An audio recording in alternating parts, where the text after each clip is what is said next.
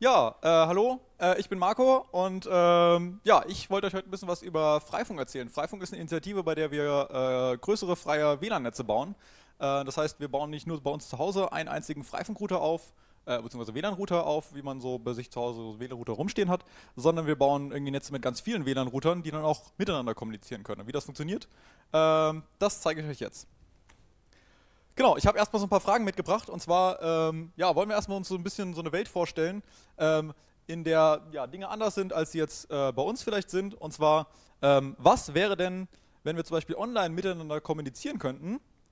Und zwar ohne, von, ohne einen Internetanbieter, bei dem man sich anmelden muss. Oder was wäre denn, wenn wir äh, mit unseren, unseren eigenen Nachrichten, Filme, Musik, Radiostationen, Blogs, äh, Bilderdienste und so weiter äh, alle selbst betreiben könnten? Ohne von einem großen zentralen kommerziellen Anbieter auf einen kommerziellen Anbieter auf, angewiesen zu sein, äh, wenn wir das einfach selbst machen. Und genau das so bisschen, äh, sind so ein bisschen Fragestellungen, mit denen sich Freifunk beschäftigt. Wie können wir äh, ja, Netze anders bauen? Wie können wir Internet irgendwie anders bauen, ähm, als es so bisher ist? Und ähm, wir haben da so ein paar lustige ja, Sachen uns ausgedacht. Und ähm, genau, wie sollte also Infrastruktur für unsere tägliche Kommunikation äh, beschaffen sein, haben wir uns äh, oder haben wir uns gefragt. Und ähm, wir haben so ein paar Kriterien irgendwie aufgestellt. Äh, so eine Kommunikation sollte natürlich öffentlich sein, das heißt, jeder sollte irgendwie Zugang haben zu dieser äh, zu diesem Kommunikationskanal. Sie sollte anonym zugänglich sein, also wir finden es irgendwie ganz cool, wenn jeder in diesem Netz kommunizieren kann, ohne irgendwie vorher sich mit einem Personalausweis registrieren zu müssen oder sowas. Ähm, selbstverständlich sollte diese Kommunikation unzensiert sein, das heißt, ähm, jegliche Zensur in so einem Netz ähm, ist immer nicht gut. Ähm, sie sollte dezentral organisiert sein, das heißt nicht irgendwie von einer einzigen, äh, von einem einzigen zentralen Anbieter abhängen. Und ähm, sie sollte auch im Besitz der Gemeinschaft sein. Das heißt, ähm, im Idealfall, und so machen wir das bei Freifunk auch, gehören eben die einzelnen Router, die diesem, in diesem Netz sind und dieses Netz bilden, nicht irgendwie einem großen zentralen Verein, sondern ähm, ja, jedem einzelnen äh, Freifunk und der Freifunkerin, die so einen Freifunk-Router eben selbst aufstellen. Genau, also was ist dieses Freifunk? Äh, Freifunk ist eine Initiative für freie äh, Funknetzwerke und äh, Freifunk ist explizit ein Mitmachnetz. Das heißt, wir wollen, äh, dass Leute bei uns mitmachen, bei unserem, bei uns sich am Netzaufbau beteiligen und ähm, so ein Netz in Nutzerhand gestalten, wie wir das immer nennen. Also dieses Netz ähm, ja, lebt eben davon, dass viele Leute mitmachen und äh, sich selbst einbringen. Wir wollen nicht kommerziell sein, wir wollen keine kommerziellen Interessen verfolgen, wir sind also kein irgendwie regulärer, normaler, in Anführungsstrichen, Internetanbieter, wir wollen alle Daten gleich behandeln, das heißt, wir wollen das sogenannte Prinzip der Netzneutralität wahren, das heißt, äh, nicht irgendwie Videos von einer Plattform irgendwie schneller durch unser Netz durchkommen lassen, schnell abspielen und Videos von einer anderen Plattform irgendwie nur langsam, ähm, ja, langsamer behandeln. Das heißt, äh, Daten sind irgendwie Daten und alle Daten sind für uns gleich. Genau, wir wollen unsere Infrastruktur dezentral organisieren, das habe ich gerade schon so ein bisschen erwähnt. Ähm, ja, im Prinzip kein ein, einer, ein großer Internetknotenpunkt, sondern eben ein möglichst dezentrales Netz, in dem äh, mehrere Wege ähm, zum Ziel führen. Ja, wie weit ist denn das so verbreitet? Also in Deutschland haben wir mittlerweile über 440 lokale Communities. Ähm, und so eine Community ist einfach so eine Freifunkgruppe, die sich mit dem Thema beschäftigt und auch ein kleines eigenes Netz aufbaut. Und damit haben wir insgesamt äh, mehr als 50.000 offene äh, WLAN-Zugangspunkte in ganz Deutschland. Und das ist eine ganze Menge. Also es gibt irgendwie 50.000 Freifunkrouter, die hier irgendwo rumstehen, äh, mit denen man sich einfach verbinden kann und ähm, ja, direkt lossurfen kann. Ja, ähm, was ist Freifunk? Wie sieht das denn so aus? Ich habe mal hier ein Bild mitgebracht aus Darmstadt. In Darmstadt ist es so, da ist ähm, ja, der Hackspace, das CCC Darmstadt, ähm, ja, quasi direkt in der Fußgängerzone. Und wir haben hier, das sieht man hier ganz links auf dem Bild, ähm, haben wir so einen so Richtfunkrouter an unsere, ja, äh, unsere Regenrinne montiert. Und äh, der Router ist einfach dafür da, äh, so ein bisschen die Fußgängerzone mit WLAN zu versorgen. Und ähm, ja, da können wir eben so ein bisschen, wenn Leute dann in der Fußgängerzone rumlaufen mit ihrem Handy, können die sich einfach in unseren Freifunkrouter verbinden und ähm, haben dann da Zugang zum Freifunknetz. Genau, so sieht das nochmal aus der Nähe aus. Das sind eben diese zwei Geräte, ähm, die dann an der Ringrinne hängen. Ähm, einmal für die, äh, die eine die Wilhelminstraße nach oben und die Wilhelminstraße wieder nach unten. Ähm, das ist ähm, ja, eine relativ kurzfristige Aktion entstanden. Wir haben einfach diese, diese Router da aufgehängt. Ähm, war an sich kein so riesiger Aufwand, aber bringt eben vielen Leuten irgendwie einen großen, großen Mehrwert da in der Fußgängerzone äh, freies Internet zu haben. Genau, wie kann das noch aussehen? Was ist Freifunk für, für uns quasi privat zu Hause? Ähm, so ein Freifunkrouter kann auch bei euch zu Hause rumstehen. Ähm, das ist jetzt ein etwas älteres Modell. ähm, was aber immer noch von uns, ähm, ja, was man eben nutzen kann. Ähm, und ähm, genau, da spielt man dann eben auf, auf dieses, diesen, diesen Freifunkrouter drauf. Das ist erstmal äh, ein ganz normaler Router, den man so im Internet kaufen kann oder irgendwie bei seinem lokalen Händler kaufen kann. Da spielt man unsere Freifunksoftware drauf und dadurch wird der Freifunkrouter ähm, oder wird dieser normale äh, Internetrouter zu einem Freifunkrouter. Äh, ja, und diese Freifunksoftware, die tun dann so einige Dinge, äh, um diesen, diesen normalen Router in einen Freifunkrouter zu verwandeln. Ähm, und das schauen wir uns ein bisschen an, was, was, was denn da so passiert. Also so ein, so ein normales äh, Netz, wie man es zu Hause hat, das sieht in etwa so aus. Das ist eine vereinfachte Darstellung. Wir haben in der Mitte diese große, diese große Wolke, ähm, die symbolisiert das Internet. Das Internet. Und ähm, dann haben wir irgendwie drei Privatwohnungen da dran, äh, drei Internetanschlüsse mit einem normalen Router. Das könnten so Router sein, die ihr jetzt schon zu Hause stehen habt, mit eurem, mit eurem eigenen WLAN-Netz, mit vielleicht einem Passwort drin. Und äh, die können erstmal natürlich nicht miteinander kommunizieren. Das heißt, wir haben so drei kleine private WLAN-Netze. So, und was, was, passiert da jetzt? Äh, wir hängen da diese blauen Freifunkrouter dran. Und äh, wir haben jetzt jeden, hinter jedem dieser Internetanschlüsse haben wir noch einen Freifunkrouter dran gehängt. Und wir sehen jetzt hier auf der linken Seite im Bild zum Beispiel, dass da irgendwie drei Freifunkrouter auch miteinander kommunizieren können, und zwar über WLAN kommunizieren. Ähm, das heißt, dieser eine Freifunkrouter, der ganz unten links im Bild, äh, dieser blaue Freifunkrouter kommuniziert oder ist irgendwie mit dem, mit dem, mit dem schwarzen äh, normalen Router zu Hause verbunden und gleichzeitig verbindet er sich auch über WLAN kabellos mit anderen Freifunkroutern in der Nachbarschaft. Und ähm, ja, dadurch, dass er mit den Routern in der, in der, Nachbarschaft kommunizieren kann, kann er darüber auch dieses WLAN ähm, ja, vergrößern, erweitern und so ein größeres Netz aufbauen.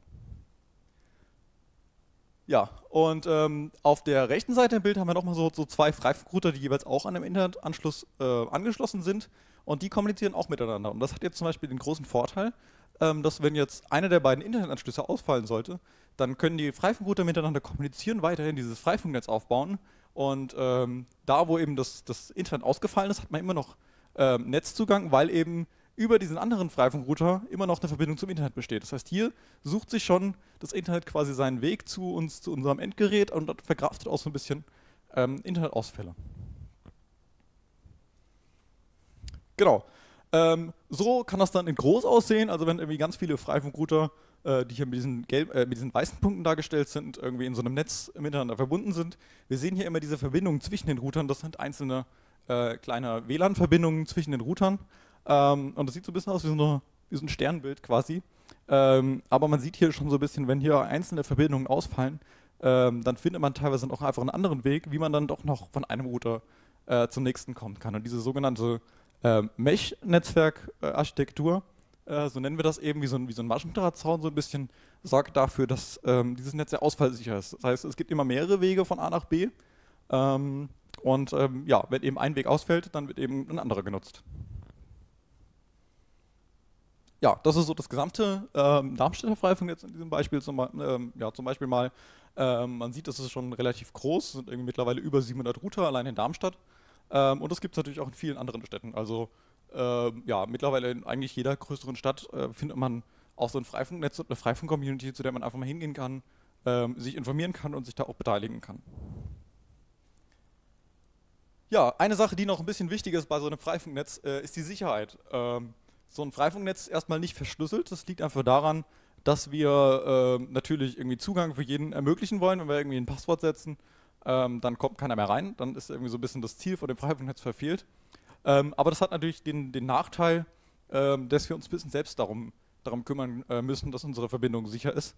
Und das tun wir am einfachsten äh, mit sicherer Ende-zu-Ende-Verschlüsselung. Das heißt, wir verschlüsseln von Endgerät zu Endgerät. Und ganz, Praxis, äh, ganz, ganz, ganz praktisch ist es, wenn ihr eine Verbindung zu einer Webseite aufbauen wollt, ein, muss, sollte man irgendwie auf dieses HTTPS zum Beispiel achten. Ähm, das ist dann eine Verbindung, die von eurem Endgerät bis zu dem bis zu dem Server, auf dem die Webseite läuft, irgendwie aufgebaut wird. Und ähm, dann ist es gar nicht mehr so relevant, ob das WLAN, was da auf dem Weg zwischendrin liegt, unverschlüsselt ist, weil ja immer noch über das HTTPS ähm, ja, eine andere Ebene der Verschlüsselung ähm, an der Stelle greift. Genau. Äh, was sind denn so die Ziele von Freifunk? Wir wollen zum einen äh, die Bevölkerung ein bisschen daran beteiligen, solche Netze aufzubauen und ähm, ja, dezentral ähm, an der Entwicklung, äh, also in der Entwicklung solcher dezentralen Netze ähm, ja, zu beteiligen. Äh, wir wollen äh, Verständnis von Kommunikationsnetzen fördern. Äh, wir haben uns da so einen kleinen Bildungsauftrag gegeben, weil wir denken, dass es irgendwie ganz wichtig ist, dass man so ein ganz grobes Grundverständnis hat, wie solche Netze funktionieren. Nicht jeder muss irgendwie Experte sein und irgendwie so ein ganzes Netz alleine bauen können. Ähm, aber so ein bisschen eine grobe Vorstellung zu haben, wie, wie funktioniert denn Internet und ähm, was bedeutet das denn, wenn ich irgendwie von A nach B kommuniziere. Ähm, wie, wie sieht das denn ja, so von der Architektur her ungefähr aus, ähm, ist, glaube ich, nicht verkehrt. Und wir wollen auch die, ähm, wir wollen uns auch in gesellschaftlichen Initiativen beteiligen, äh, um die Verbreitung solcher freien Netze natürlich äh, zu unterstützen. Genau, äh, ich habe noch ein paar Beispiele mitgebracht, wie Freifunk noch in der Praxis aussehen kann, was wir noch alles so machen. Wir bauen zum Beispiel solche Richtfunknetze. Ähm, und das hat einen großen Vorteil, wenn wir ähm, zwischen den Dächern, auf den Dächern äh, Router installieren, die miteinander kommunizieren, dann haben wir natürlich auch ein sehr redundantes Netz, das heißt ein Netz, was irgendwie ja, doppelt ausfallsicher ist, ähm, weil eben noch mehr Verbindungen von A nach B existieren und auch über längere Strecken existieren, sodass man dann von einem Stadtteil in den nächsten kommt, ohne äh, zum Beispiel über die ja, klassische Infrastruktur, die schon in, den, in, der Straße liegt, im Boden liegt, die ganz normalen Internetleitungen kommunizieren zu müssen. Ähm, aber man hat auch so ein bisschen Lastverteilung. Ähm, und wenn wir irgendwie ja, große Bandbreiten irgendwie, äh, ja, irgendwie auf verschiedensten Wegen äh, ja, transportieren können, dann haben wir natürlich immer eine größere Auswahlsicherheit. Und wir sind äh, wahnsinnig unabhängig vom, vom Internet, wenn sowas denn über der Stadt mal ausgebaut ist. Ja, ein weiteres Beispiel, was wir so machen, wo man sich ähm, beteiligen kann, ähm, ist der sogenannte Gluon Firmware Selector. Ähm, das ist einfach eine, eine, im Prinzip eine Webseite, äh, wo man für jedes Routermodell so sich seine eigene Freifunksoftware runterladen kann. Äh, Gluon ist der Name von dieser, von dieser Freifunksoftware. Ähm, und da kann man einfach oben sein Router, Routermodell eingeben und kann dann schauen, ja, äh, gibt es denn für mein Routermodell, was ich hier gerade noch zu Hause rumliegen habe, was ich, einen Router, den ich eh nicht mehr brauche, gibt es denn dafür zum Beispiel schon diese Freifunksoftware und kann die sich dann einfach da äh, runterladen. Genau, eine andere Sache ist ähm, ja, ähm, ein Tool, nennt sich Fritzflash.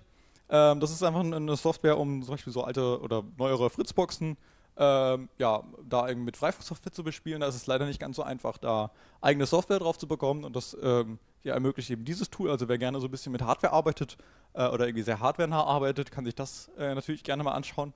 Ähm, ja, da geht es eben darum, ja, irgendwie sehr hardwarenah irgendwie ähm, Software auf solche äh, kleinen Geräte drauf zu bekommen. Ja, wir entwickeln aber auch äh, neue Mesh-Protokolle, also diese, diese Protokolle, die eben dafür da sind, so einen eigenen Weg in so, einer, in so einem Netzwerk zu, zu verbinden, äh, zu finden, ähm, wo ähm, ja, viele Router miteinander verbunden sind und ähm, es viele Wege gibt.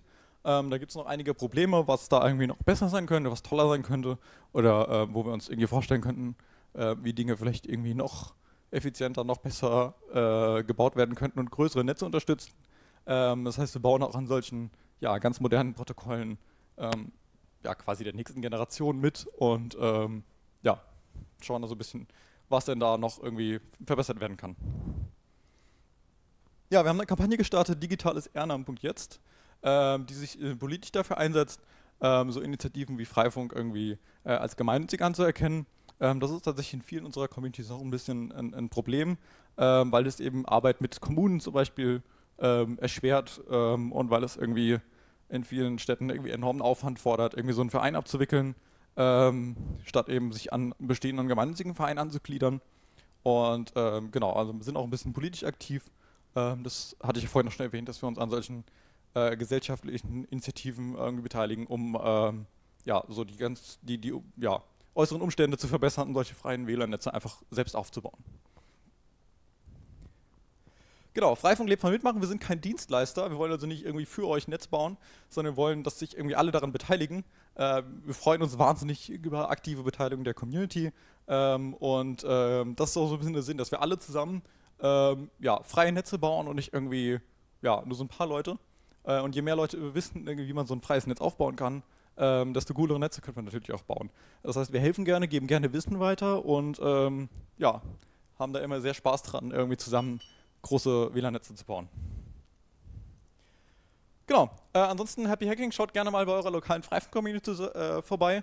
Auf freifunk.net gibt es so eine Übersicht, ähm, wo es denn überall Freifunk-Communities sind. Es sind wie gesagt schon ziemlich viele und ähm, sicherlich auch bei euch in der Nähe gibt es irgendwo eine Freifunk-Community, zu der ihr einfach mal hinschauen könnt oder vorbeischauen könnt ähm, und euch noch ein bisschen mehr informieren könnt, was das ist. Oder ihr kommt einfach nochmal zu mir und äh, ich beantworte natürlich auch sehr gerne noch Fragen. Dankeschön.